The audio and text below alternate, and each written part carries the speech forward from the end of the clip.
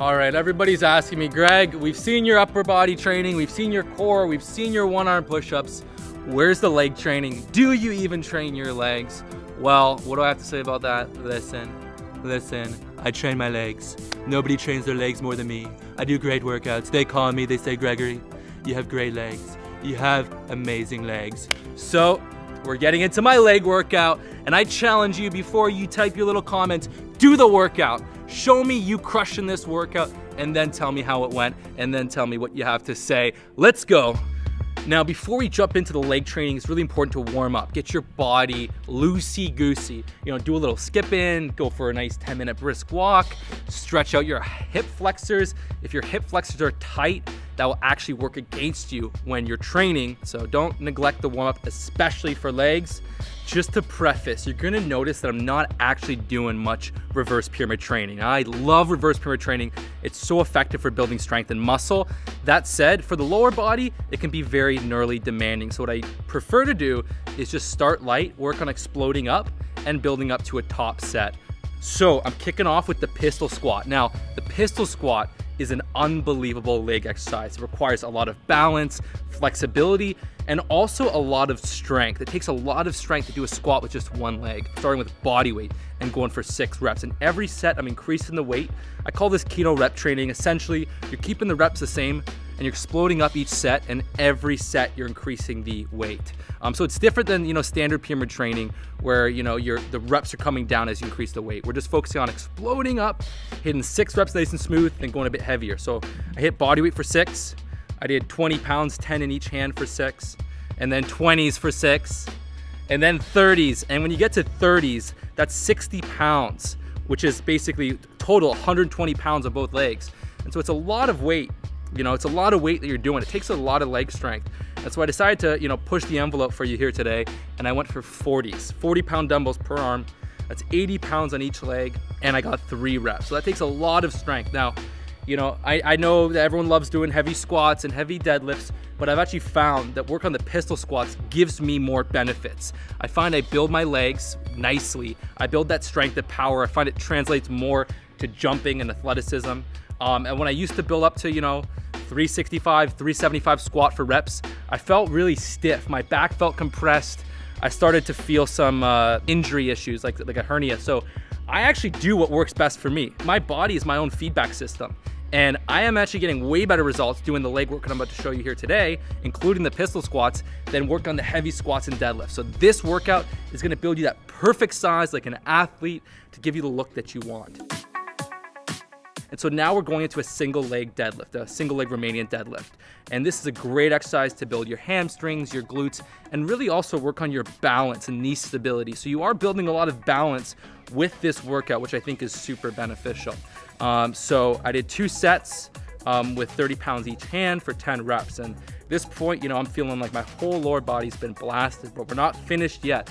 I do want to build my quads up a little bit more. I do want to build that vastus medialis, get a bit more thickness in my legs. So I'm going to be doing some walking lunges. Here I'm doing two sets. You know, I find like if you push yourself hard, you don't need to be doing four, five, six sets. You know, two sets does the job. So we did two sets with 135, 20 reps total, 10 reps per leg. And man, at this point, my legs were absolutely cooked. This is a tough workout. It's fun.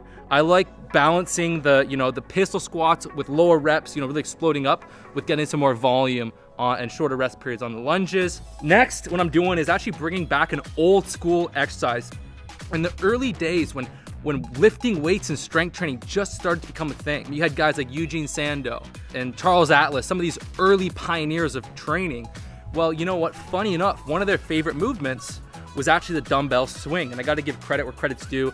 I learned this exercise back when I was 14 years old from a guy named Ross Enamait that trains mixed martial artists and boxers. And the dumbbell swing is an incredible exercise that needs to come back because essentially what it is, it's it's one of the most effective exercises at A, working your whole body, at B, connecting your lower body with your core and your upper body, and C, really producing a lot of hip power.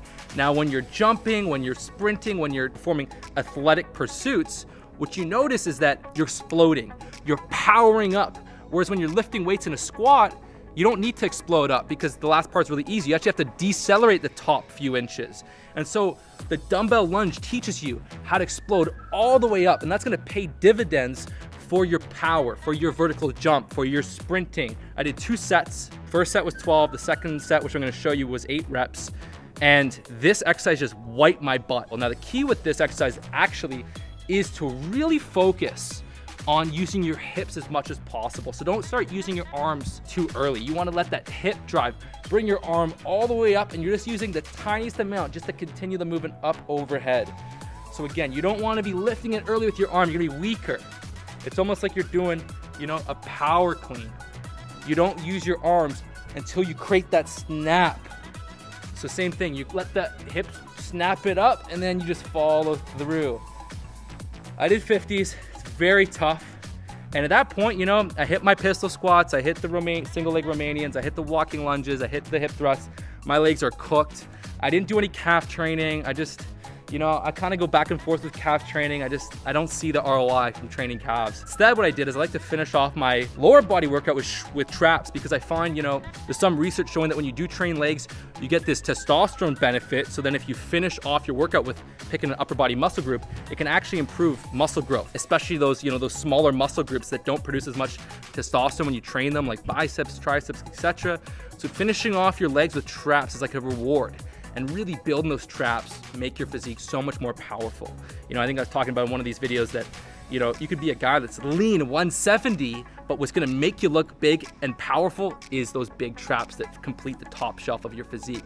So I only have 50 pound dumbbells. That's the heaviest dumbbells I have.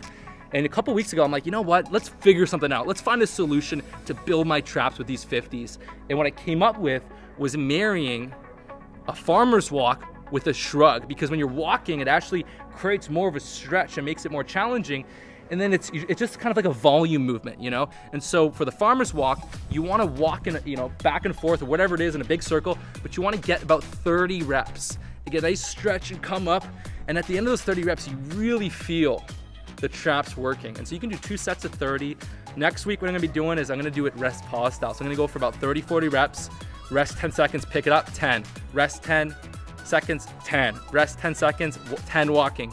And I'm gonna finish off with that because the rest pause, what it does is it ensures you get maximum muscle fiber recruitment. So when I do the 30 reps, it's only those last five that are really causing all the muscles to come into action. But by just resting 10 seconds, what happens? I continue maintaining that state of uh, increased muscle fiber activation. Again, this workout was absolutely crazy. In the last few months, I've launched my Movie Star Body program. I did the coaching, and these guys are freaking seeing insane results with their lower body training. They're loving these leg workouts. No one else is creating leg workouts that kind of blend building great aesthetics with the athleticism, with the functionality, with, with the fun. You don't need to be doing six, seven, eight sets of leg press or trying to go heavy squats. And I've actually built the perfect leg size. You know, in the last little bit, I've actually completed my leg and upper body development where it's very proportionate. And I'm really happy with that. So again, I really hope you enjoy this workout. Give it a shot. If you want to learn about my full-blown Movie Star program and the coaching, we'll hit the link on this video um, or in my bio. Go check out this program. We're seeing freaking amazing results. I'm actually about to launch for free for my clients the Tarzan training phase. There's two different Tarzan training phases. One is full body weight, one is hybrid.